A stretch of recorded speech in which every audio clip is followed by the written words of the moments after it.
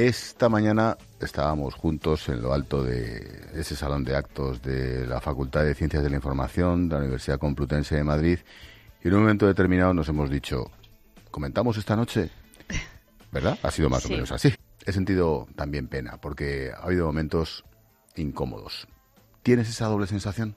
Efectivamente, por un lado, eh, volver a la, a la, universidad, a tu facultad, a tu casa es siempre precioso, pero a la vez he sentido la pena porque he visto que yo ya eh, hace 20 años eh, esto lo vi venir, se veía, ¿no? Porque sobre todo en la facultad de, de políticas de Somos Aguas, mm. en el campus veías como la ultraizquierda y el entorno de incluso Ribatasuna se hacían fuertes, tenían pancartas, tenían tenderetes y, y imperaba la ley de la, de la selva eh, en muchas de estas facultades. Lo que pasa es que los demás nos fuimos, nos fuimos a buscarnos la vida, a trabajar, primero como periodista, luego ya, bueno, como representante político, cada uno a, a, nuestras tareas y allí se quedaron unos cuantos viviendo de ello, creando un cortijo, alimentando los odios hasta, hasta que nos encontramos con que esto no solo ha cambiado, sino que ha crecido y hoy encima está incluso amparado por ministros del gobierno, algo mm. que en esos tiempos no ocurría. Por mucha bronca política, ¿Una se acostumbra a que te llamen asesina?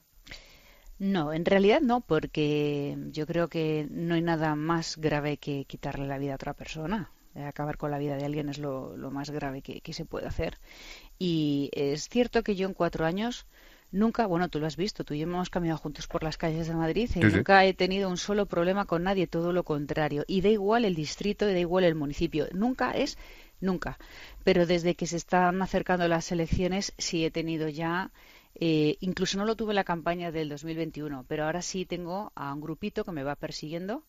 Eh, siempre son enviados o por el Partido Socialista o por el resto de los grupos eh, mm, o de la Cámara o de plataformas de las suyas que viven de lo público, pero para privatizarlo para sus intereses.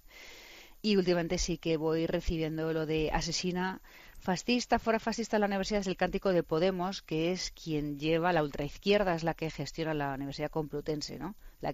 Es verdad que somos la comunidad Madrid que menos invierte en la universidad pública y la segunda que menos invierte en atención primaria. No, mira, eh, de hecho nunca he destinado tanto dinero a la sanidad pública y a la universidad pública como ahora. nunca en la historia de la Comunidad de Madrid. Nosotros estamos destinando aproximadamente el 4,5%, Cataluña el 3, 3 y pico. La media en España está en el 1.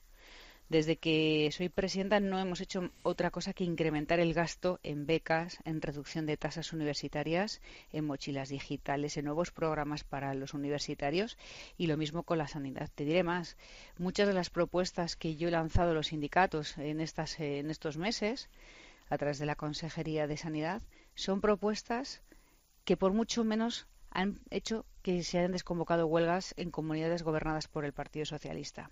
El grito de público, sanidad pública, eh, sanidad pública se ha convertido en un grito de guerra. Es decir, cada vez que estamos en algún sitio, te lo espetan con cualquier pretexto para acosar. ¿Sabes con lo que también me quedo de hoy? Mira, esa, es mi casa. Eh, yo di siete años de mi vida, primero como estudiante, en licenciatura y después en el doctorado, fui miembro de la Junta de Facultad, fui claustral de la Universidad Complutense, pusimos en marcha un proyecto de radio universitaria espectacular que sigue en vivo y que permitía que alumnos sin tipo, sin recursos, sin oportunidades, pudieran hacer sus prácticas. Fue tal eh, vocación la que he tenido por la universidad pública que mm, me ha dado pena porque he visto que bueno, que a muchos alumnos les han trasladado desde hace semanas algo diferente. Ellos sabían que iba a estar hoy y me consta que miembros de Podemos y ex rectores, con amigos, con todo lo que tienen allí organizado, han estado calentando los cascos a los alumnos durante tanto tiempo. Y, y en lugar de haber pasado un día de celebración, pues nos hemos encontrado con esto. Además, también quiero aclarar que yo no he pedido ese reconocimiento. No, ninguno. Yo, nunca he puesto una regla ni una sola condición. Esto se me dio en el año 2019, pero hasta ahora no se ha podido celebrar, por la razón que sea, que lo desconozco. Y yo, como hizo oye, Irene Montero también en la Autónoma, que recibió la misma condecoración, yo lo he hecho por coherencia, porque si soy la persona que siempre habla de la libertad, lo coherente es ejercerlo. Que esto pase en el siglo XXI en España, en la universidad pública, y en periodismo. Cuando todo se confunde y se mezcla y ves como estudiantes de periodismo que en el futuro tendrán que contar la verdad, mm. solo sienten activismo político, te das cuenta de que se está secando la convivencia y de que el problema que tenemos es a futuro importantísimo. Yo más que hoy miedo o algo así, lo único que he sentido es pena